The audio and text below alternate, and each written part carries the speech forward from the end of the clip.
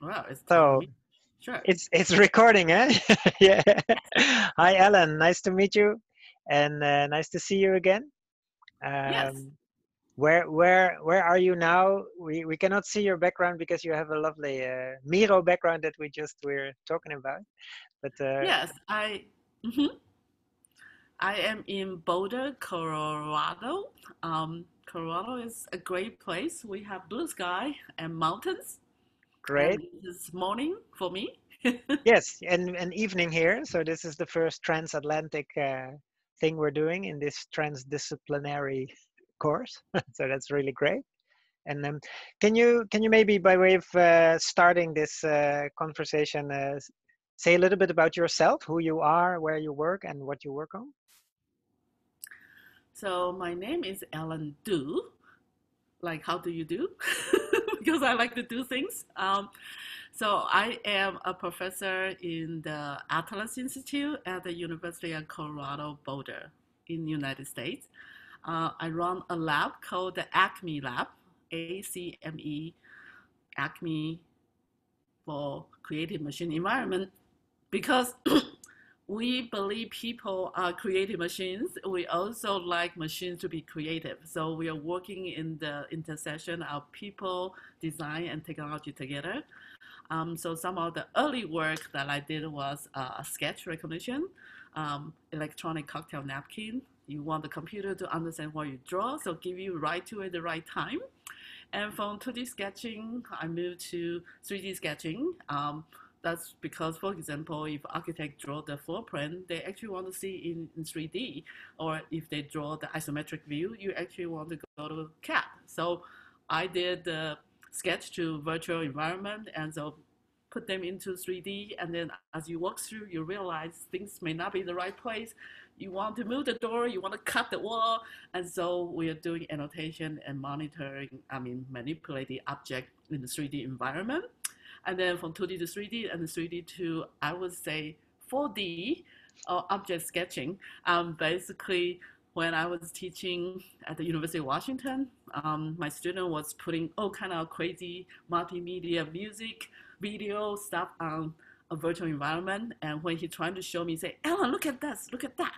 And then I said, this is too hard because he's using his mouse click, click, click and trying to go behind. I said, why don't you take the object out so Yes, we can see and feel it? out the So screen. that, yeah. So that was the first project that uh, in the tangible of physical computing, and that was called the navigational block. So we have a block of who, what, when, where, and we are working for the tourist spot. So you can like who, the founding father, the miner, the woman, when 19, um, 18, 1819, 1911, yeah, and what? That could be um, the gold rush or the the big fire or where what where did it happen? And so people can be manipulate the physical object and then re, yeah um, retrieve the different stories for the tourist spot. And so everybody who can walk up and use so that was pretty fun. And Cool. i've been yeah so i think what i'm doing today is about tangible interactions and how people work together and how object could be part of the sketching as you scaffolding and experimenting what kind of experience you may have. Yeah, so that and of course that's also why I I know you because I'm also uh, very much interested in tangible interaction, and we met at the the conference of tangible interaction, right? And so we should really go go into that more because I think that in in facilitating creativity in groups, uh, the tangible objects can also be really important, right? But um, maybe maybe one step back, can you say a little bit more about the the Atlas Center that you work now? Because I think it's quite new, right? And and in a way quite uh, innovative in in how it is set up and and what it aims for. Um, hmm So Atlas as an institute um, is not that new, but it it was uh, it existed more like um, here is the idea that people can come together. And then when mark gross became the director i think six years ago and he made that into a research institute.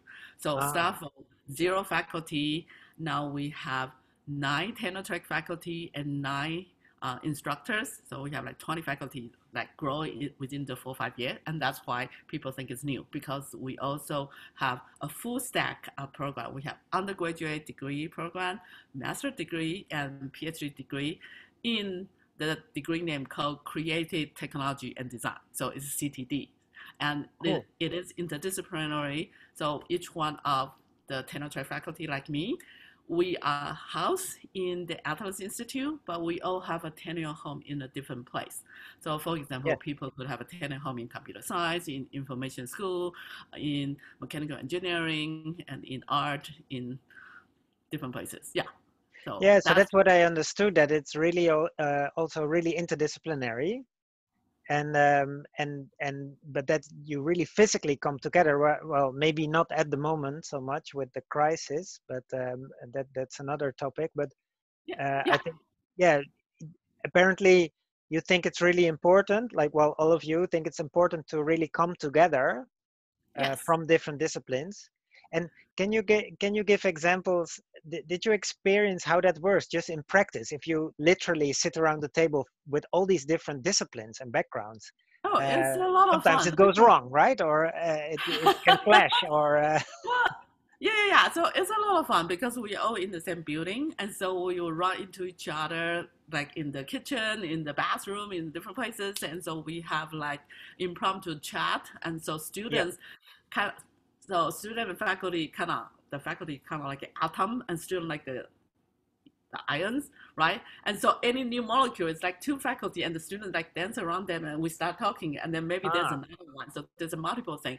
So for example, like one of my neighbor is doing uh, Carson is doing nanotechnology and oh, he's wow. talking about tattoo can give you superpower. So instead of just ink, and what if the ink is a sensor that understand maybe your insulin level or something else, right? And then another neighbor I have is um, Dan. He's doing human robot interactions, and so he's doing how people interact with robot. And as a result, like I'm actually working with him, and also Laura across the hallway is doing smart textile. Okay, so I have students and I have multiple author paper and project with different people. So for example, right now we have a project called AR Drum Circle, augmented reality drumming, right? And so one of the things that we are remote, um, then if I want to play with you, I want to see you, I want to hear you, and I want to see your hand. But yes. there is network latency. and so normally if we do Zoom or do any of the video conferencing, they will be in delayed. And so yeah. we are working together trying to think about what are the communication protocol, what are human communication uh, cue, and maybe we can also do um, understanding the pattern or predictive modeling. So it, it's not finished yet, but we are bringing different disciplines together. And for for a simple problem, we say, oh, how can we make it more enjoyable? And so we think about hey, visual feedback or and, sound. But when, already from this example, before you know it, you you want to go even broader and break, get disciplines from psychology, philosophy, economics, do they come in as well, or uh, is it really all technology related at the moment? Well, I think different people have different focus. For for example, yes, we do have people who are more interested in the cognitive science part or the psychology part, or the feminist uh, or critical theory. And so I think okay. different people bring in different part when they are working on a project together. So that's really fun. And I think when you, when you say, is there any issues?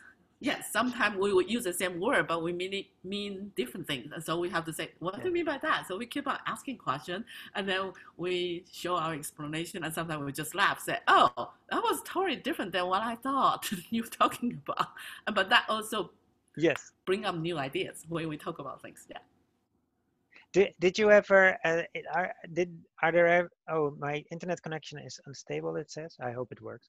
Um, was there ever uh, projects that were deliberately focused on for example this common language and and i could already start to think about how to design systems that would so i don't know a big wall with a mind map and every day you can add a little meaning to a word so that the the shared meaning grows or stuff like that or uh, did, did people work on that or would that be an interesting idea to maybe do i think that's interesting i think the different combination, like I said, the different atoms and different ions, and so the combination of that will create a different group dynamic. And so, for example, let's say, so Daniel Leithinger is working on transformable object. Okay, so he has this PhD student who's interested in things that's transforming, and then my student is interested in object that we can is tangible interaction. And so when we come together, then that come out with the little tiny robot that can reconfigure themselves doing things. And so yes. that happened because we were we are near each other. We talk to each other and say, "What do you think? What's going on?" So we learn from each other the different mode operation or different representation. So sometimes model, sometimes it's diagram, like you said, post post-it note or mind map, and sometimes it's physical thing. Let's build this prototype and see how it works. Yeah, and and and and what I hear you say, or what it should suggest, is that everybody really needs to be open. Uh, have a sort of open, uh, curious mindset, right? You need to be interested in learning from others and learn and getting connected right? Because I, I i could imagine some organizations uh, like governmental organizations or at least some organization in the netherlands where people that work there don't necessarily immediately have that mindset or they have lost it or they are afraid or fixed in procedures or so that they they no longer talk about new ideas at the coffee machine right? But i i, I think in atlas everybody is also willing and they they're motivated to to to make new connections right? Is that true? Yes yes. And I, I think we found that interesting and fun and i think we're always looking for something that interests different people. And we i don't think we ever really have any fight. I think most no. of the time it's just like debate or arguments what do you think? And so sometimes we agree to disagree but then i think it's also interesting. Uh, for example, for me, sometimes if people are in heated debate and I'm trying to analyze what are they doing, and then yeah. I realize sometimes is some people want to get it done, some people yeah. want to get it right. Some people ah. want to get appreciated. Some people yeah. want to get along. And so when people are in a different venue, ah. that's when they're fighting because like I let's get this moving because there's a deadline. Other person was saying, well, this need to be right. Let's go back to the drawing board, figure out. So they yeah. are in total opposite, but both have good intention because one is yes. let's get it done, and one person want to get it right, right? And sometimes some people just want to get along, so they say yes, yes, yes. They didn't say any opinion, but some people want to be appreciated. They just say, hey, let's do that, and nobody say great, and they just keep on like, yeah, you have to follow me. they want recognition. All right. Yeah. yeah. So I found that framework was really interesting because I think it's actually less on the projects. One time I was in a faculty meeting and the people were arguing. I think we're talking about student. I think, and then just like talking for a long time. And then I started looking at that. I said, oh, they are in different quadrant. And so I started telling them, I appreciate this. This is a great idea. We should think about what to do. But then we all have this deadline. We need to get it right, but we also get to get it done. And can we just figure it out? And then everybody agrees. So we move on. yeah, then so, you have a win-win situation because all these all these um, mindsets are important, right? In the end, to get a good. Yeah. That's cool. So maybe we can talk a little bit about the tangibility more specifically, because um, we sometimes may have the idea that in order to get uh, thoughts together and in order to understand one another and do stuff, uh, we need to talk and uh, I have uh, ideas in my mind, and you have ideas in your mind, and the the goal is to to just exchange them. Uh, so if I say the right things and you say the right things, we understand each other, and then it's finished, right? But I think the um, what what I really learned from the tangible interaction community that you are uh, one of the main people in, of course, um, is that there's a thing in the middle, right? So it could be the prototype or something else, uh, and that actually helps this sort of shared in the understanding or, or communication between people right? Uh, could could yeah. you say a little bit about that how you see that? Yeah so i think a couple different things. One of the things is that even like right now right? So we we see things we hear things then we forget. But if we make something we remember because we the process of making that our body, our tangible interaction, we understand how we make that. We, we actually find out more issues or understanding. And so, for example, like Richard Feynman actually said the things that he cannot make, he will not understand because you see huh. things, you you remember that and then but if you think you can also forget but if you have to do the proof or you do, do the formula when you write it out so uh, i think yeah. a lot of thing about design is about making the external representation and so that's why people do sketching.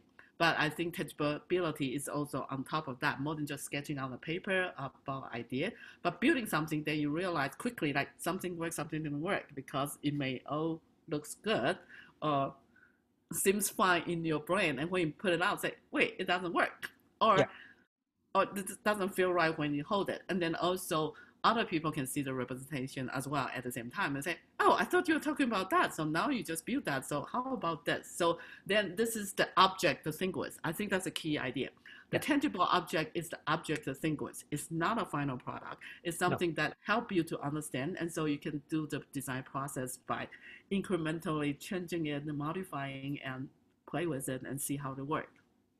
Could you do that also with um, uh, in completely different context? So suppose uh, you have uh, a bunch of uh, well, you have a, a, a, crisis team trying to solve the, the COVID crisis.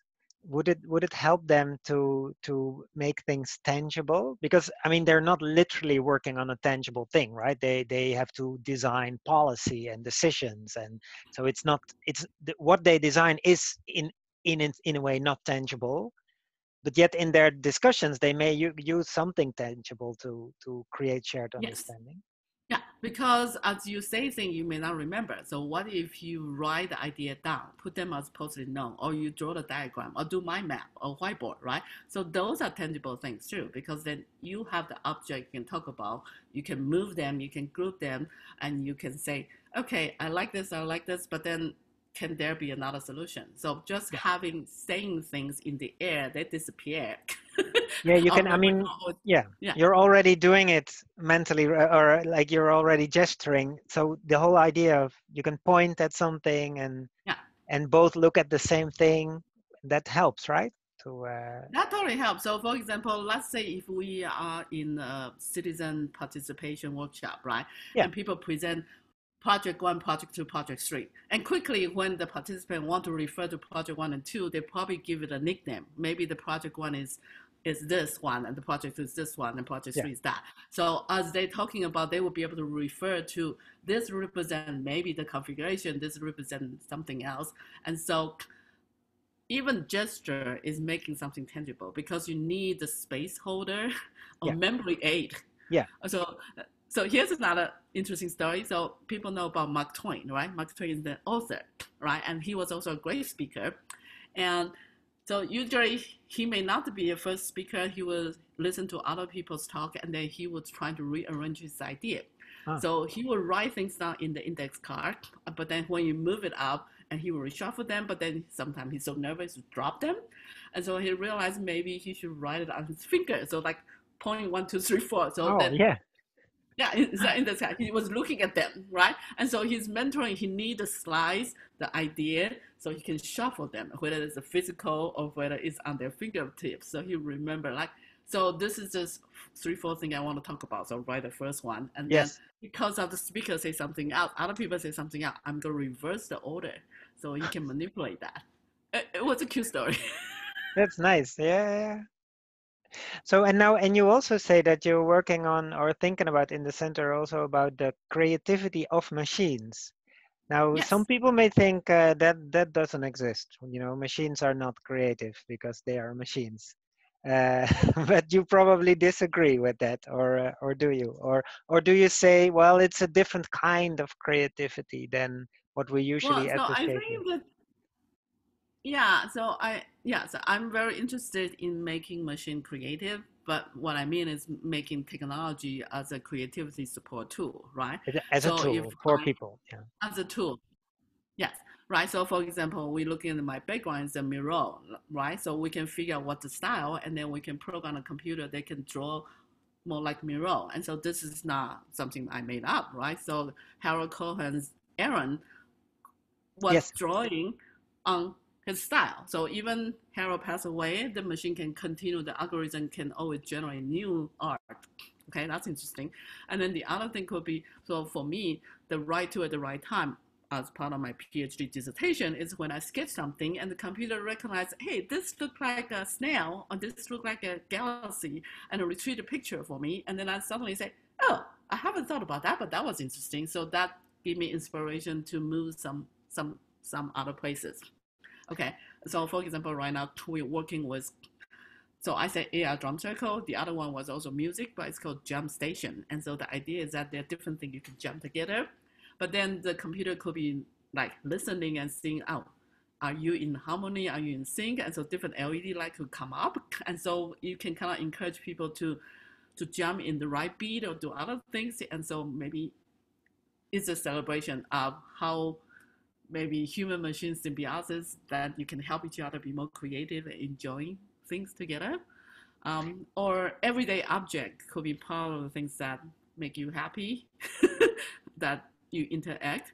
And they may not be a full-blown machine, but I, I think anything that's interactive, it could be part of the machine, right? Yes, so, exactly. But I, I really like, like, so the way you, you pose it, these are very uh, sort of fresh and creative and, and, and fun things, right? And, and I think we're gradually moving in that direction while maybe in, in the 1980s and 90s when computers were really growing in presence in our lives uh, they were not associated with creativity uh, directly right they uh, i mean some people were of course working on that but the the general public would think that the computer is actually uh, very uh, strict and because it follows rules and it's uh, so it will never never think outside of its own box, so to speak.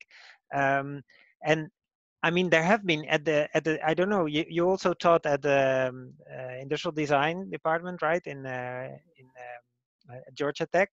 Uh, in our department, there was a lot of discussion in the beginning that computers may may. I mean, we did see that students no longer sketched. They were no longer working with physical materials because they were directly trying to draw in CAD programs and so on and that in a way inhibited their freedom to think right so so there were things going wrong in a way so what what for you is the um, sort of the key of doing it the right way to use the to use computers not as something that limits but as something that opens up in a way uh, is, is there some kind of key magic ingredient that we need to put in well so i think um, so yeah, I think there are several things. So for example, when I trying to do my courses and I will introduce different tools, right? So computer is one tool, sketching is one tool, modeling clay is one tool, yes. or dance performance is another tool, or brainstorming is another tool, right? So in a way, I would say, hey, what I want you to see is that this is a buffet with all the different dishes, right? You need yeah. to know where are they you don't have to eat all of them or, or stuff yourself. But some people may may prefer or more comfortable doing this or the other thing, but don't lose sight of other things as well. And also don't be enslaved by the tool, but yeah. But come up from your idea first and then find the right tool at the right time. Which one is appropriate for this, right? So if I want to do curve, maybe I should not use a ruler, right? So if I want to figure out how the things follow me in in a dance movement embodiment, maybe I should have motion tracking instead of doing CAD, right? Maybe I should, I should do a sensor of the air floor or do a simulation of something else. So I think depends on like just in time learning or just in time using the tool, right tool, right time. so don't just yeah. like, here's one tool, here's my hammer, so I'm gonna ham everything. Like, yeah, all right. So sometimes you need to use a screwdriver, sometimes you use a hammer. So I yeah. think one of the issues that when people learn CAD, they say, okay, CAD can do everything, and so they just ignore other part. And I I try to encourage like multi-modal, multi-tools is like your yeah. life is interesting. You don't eat same thing every day. I hope not. No. But I think you, are no. interested in trying different food, right? And I think same thing with design. Like, if you already know how to do certain, certain thing, maybe you should say, oh, let's try to use another tool and see what I can do. Yeah, so the, the computer is not a replacement of the other stuff. It's it's just another dish in, in the buffet. I, I like that metaphor. That's very nice. Great. Well, I I think um, uh, this would be a good moment to uh, to round off the the this official part of the interview. Uh, I think we talked about uh, many things, and and uh, you gave us a, a wonderful and very inspiring insight. Little, and you also mentioned a lot of projects. So maybe uh, students should look that up and and try to find some more information if they are interested in that kind of stuff. Because you mentioned yes. a lot of different uh, projects and topics that so people can uh, sort of uh, be inspired by that. Thank you very much for that. Um, so that concludes the official part. But I don't know if you if if you want to uh, join me in uh, bonus material, which would start now. Were were there other things that you were thinking about, or uh, stuff that you thought, oh, this is also important, or we should we should not forget about this?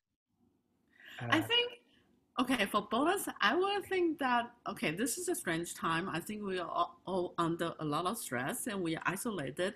Um, but I think remember to celebrate like how incredible you are as a human being that you were born to the world, that how unique each one of you are having ability to do different things. And I think quite often we will come up with the idea and then we shut ourselves down and say, oh, that's not good enough. Somebody's done it. But don't shut it down. Just say, okay, let's say I like, what if, uh, I wish, and then just put the idea out there before you shut it down. And so, like, what if we could do a little bit things different? So people say, oh, that's been done. I say, what if we change another ingredient so that's not the same?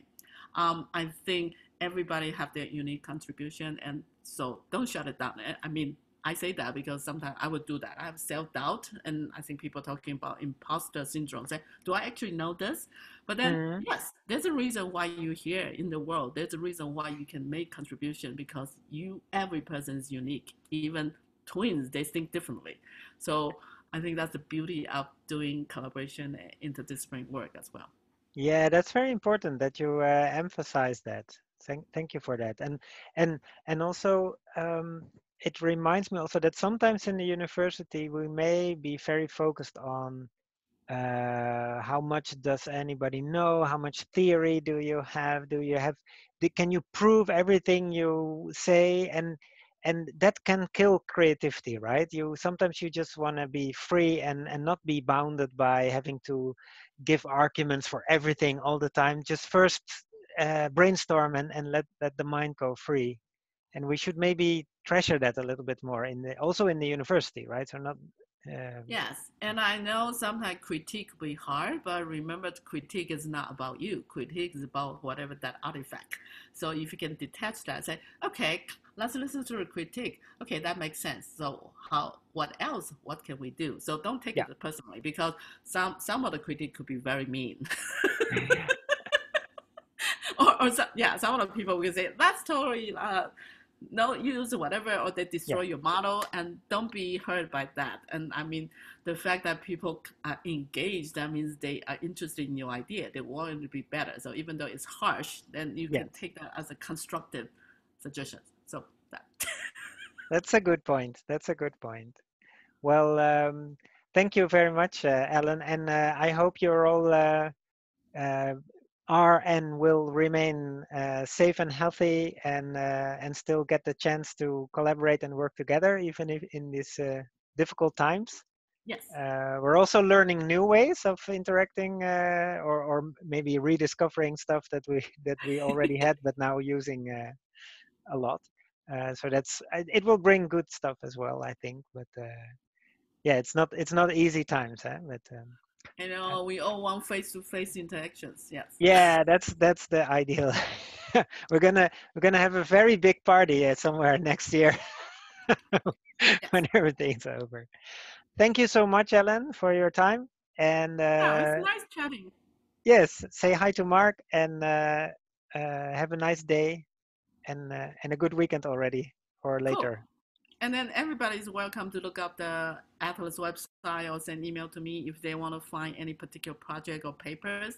Um, yeah. I will. Maybe they will apply for internships or what have you later on at some point. So uh, yes. I will point you cool. to uh, to you. Okay. Thank you very much. Bye. Bye bye, Ellen. Bye.